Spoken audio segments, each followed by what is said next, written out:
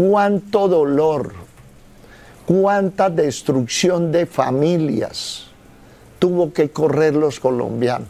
Entonces, ahora que tengo la posibilidad de ganar, me voy a dedicar a la paz. Wow.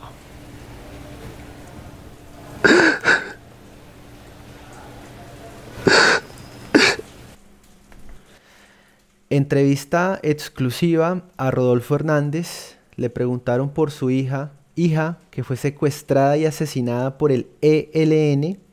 Esta entrevista la tendrán el día domingo en este canal y realizada por el gran periodista Oppenheimer. Y es que este tema no se toca por casualidad. La campaña de Gustavo Petro, la campaña del pacto histórico, su campaña sucia, ha salido a responsabilizar al ingeniero por el asesinato del ELN. El mismísimo Gustavo Petro lo atacó con un tema que en cualquier sociedad civilizada y democrática, que cualquier persona que aspira a la presidencia no debería tocar.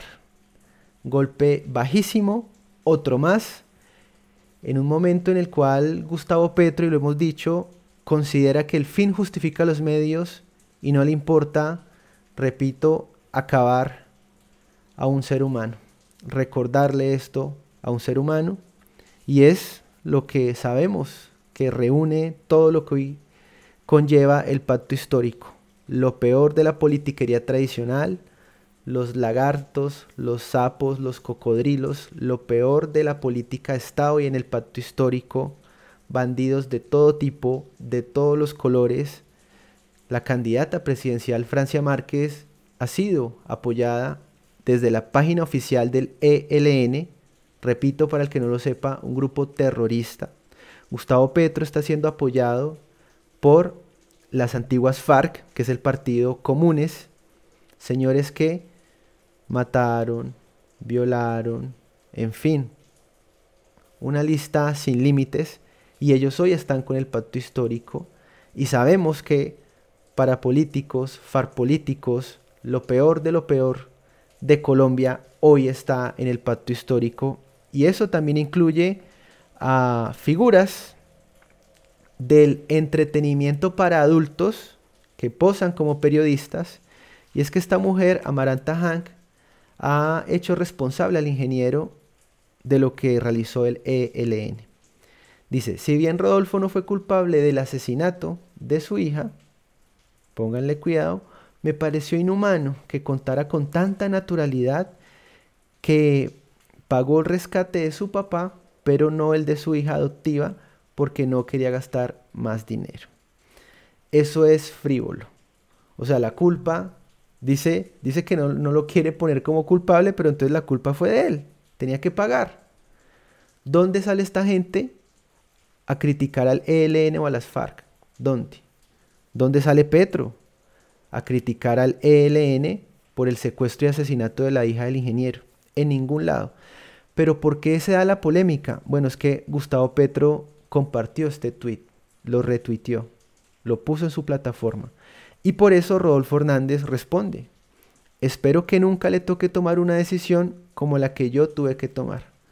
Desde luego, pues un Gustavo Petro estuvo por fuera de la ley, un Gustavo Petro que hizo parte de un grupo terrorista, el M19, cuyo modus operandi especialmente era el secuestro. Pues eso para Petro, ¿qué es eso para Petro? ¿No? Para Petro eso no es nada. Y ahí lo tienen, una campaña sucia eh, y el pacto histórico, bueno, hasta estas figuras hoy tiene, tiene allí, pero también un poco de contexto y es que su hija, Juliana Hernández Oliveros, fue secuestrada en junio del 2004, tenía 23 años, la única mujer de cuatro hermanos y estudiaba Derecho en la Universidad Santo Tomás. Viaja a su ciudad natal aprovechando vacaciones, en fin, termina en Ocaña, una zona azotada por la guerrilla, concretamente ELN, y llega el 4 de junio y no, no se volvió a saber nada de ella lo que dice Rodolfo Hernández en entrevistas es que eh, pues llega a este, a este lugar, un lugar peligroso, y comienza esta gente a chantajearlo. Previamente ellos ya habían secuestrado, si no me equivoco, FARC a su padre, eh, exactamente 15 millones de pesos les quedó debiendo, dice, pero eh, en realidad no, porque esta gente en una urbanización de él puso una bomba que destruyó absolutamente todo, ¿no? Luego de vender casas, pudo completar el dinero que debía, el rescate para las FARC, para sacar a su padre, etc. Pero en el caso de la hija fue diferente y la decisión tomada, ¿qué decisión? ¿Qué decisión? Decisión tomada a partir del consenso familiar para responder por el dinero, esta vez de terroristas del ELN, pues lo que el acuerdo al que ellos llegaron es que si seguían con esto, después iban a secuestrar a su esposa, con la cual lleva 50 años de casado, Socorro, y después otro y otro, y eso no iba a tener fin. Entonces la familia se reunió, dijeron, ¿qué hacemos? Y la mamá de Rodolfo dijo, no pague, vamos a ver qué pasa. Y la mataron. Eh, se permitió vivir el duelo al tener que aceptar, pues que lo más probable, por supuesto, es que su hija no se encuentre eh, con vida, pero de momento, pues se entiende que es desaparecida tras ya casi a dos años de dos décadas que no se supo más de su estado, ¿no? Esta no es la primera vez que se toca este tema, pero sí, repito, es la primera vez que una campaña sucia la utiliza para atacar a un candidato y para decir, este tipo es una mala persona porque no pagó el rescate de su hija a los terroristas del ELN, ¿no? No tienen límites morales en el pacto histórico. Yo quiero comentarle a los que no saben, Ingrid, usted fue secuestrada. Las FARC secuestraron a mi papá. 135 días preso ¿Y sabe qué hicieron los del ELN?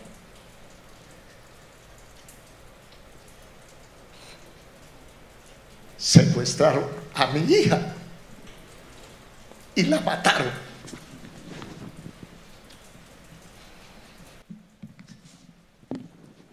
Ahora.